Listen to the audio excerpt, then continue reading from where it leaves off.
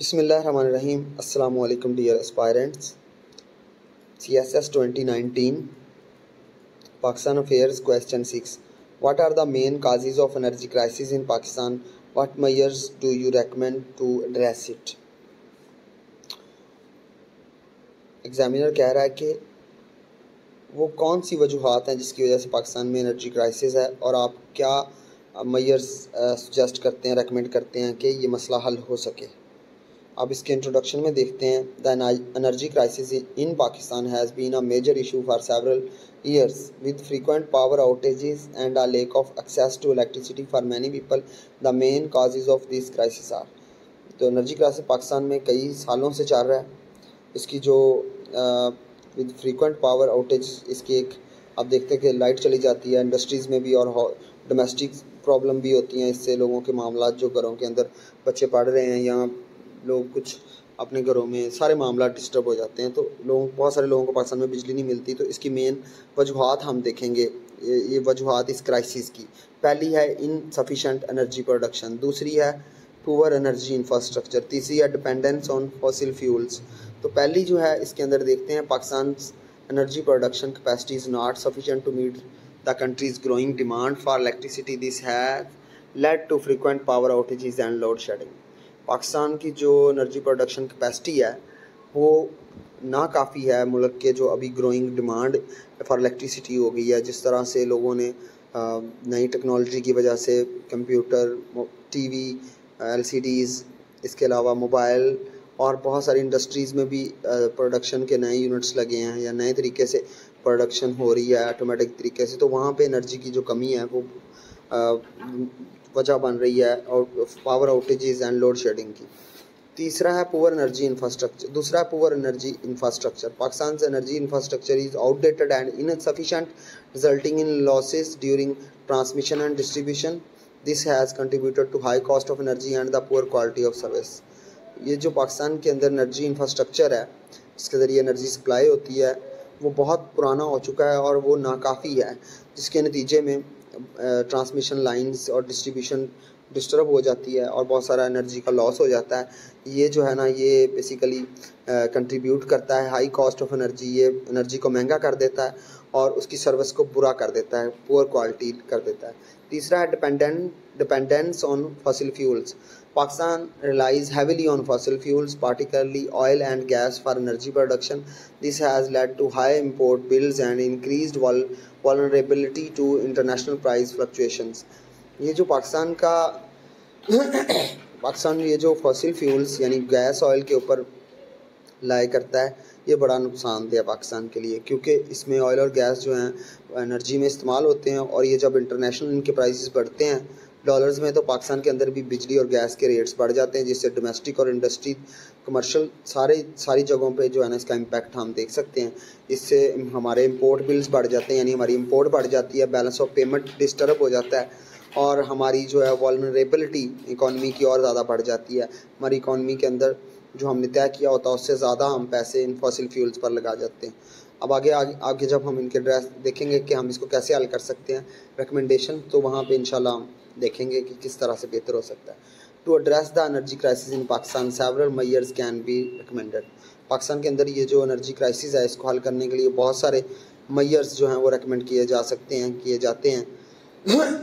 उनको हम one by one देखते हैं। First first one is promote renewable energy second is improve energy infrastructure third is encourage energy conservation fourth is diversify energy sources अब हम इनको one by one discuss करते हैं।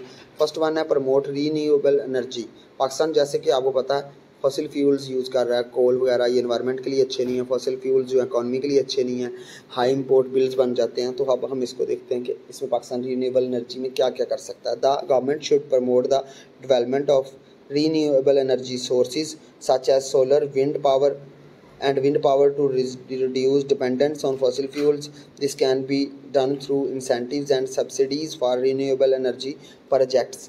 तो गवर्नमेंट को चाहिए कि वो रीनेबल एनर्जी सोर्सेज जो हैं, उनको पर, उनको जो है प्रमोट करें, उन इनक्रेज करें, उनकी डेवलपमेंट को इनक्रेज करें जैसे कि पाकिस्तान के अंदर सोलर और विंड एनर्जी पैदा की जा सकती है और फिर पाकिस्तान, इस तरह से फसिल फ्यूल्स पे पाकिस्तान का जो इन्हसार है, वो कम हो जाएगा तो इससे क्या हो जाएगा, इससे पाकिस्तान को, कैसे पाकिस्तान ये करे गवर्नमेंट को चाहिए कि ये करे इंसेंटिव्स दे डोमेस्टिक और इंडस्ट्री को इंडस्ट्री सेक्टर को और सब्सिडीज़ दे ताकि वो रीनबल एनर्जी प्रोजेक्ट्स की तरफ़ जा सकें।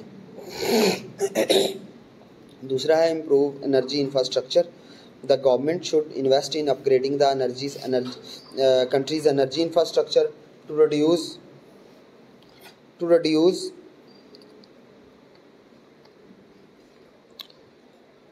Government should invest in upgrading the country's energy infrastructure to reduce losses during transmission and distribution. This can include upgrading transmission lines, transformers and distribution systems. तो government को चाहिए कि वो इन्वेस्ट करे जो पाकिस्तान के अंदर एनर्जी इंफ्रास्ट्रक्चर है उसको अपग्रेड करने में ताकि जो नुकसान होता है ड्यूरिंग ट्रांसमिशन एंड डिस्ट्रीब्यूशन वो कम हो सके तो इसके अंदर शामिल है अपग्रेडिंग अपग्रेडिंग करे वो अपग्रेडिंग करे वो ट्रांसमिशन लाइंस की ट्रांसफार्मर्स की और डिस्ट्रीब्यूशन सिस्टम्स की। इस तरह से पाकिस्तान जो है वो बेहतर इंफ्रास्ट्रक्चर ला सकता है। ठीक है?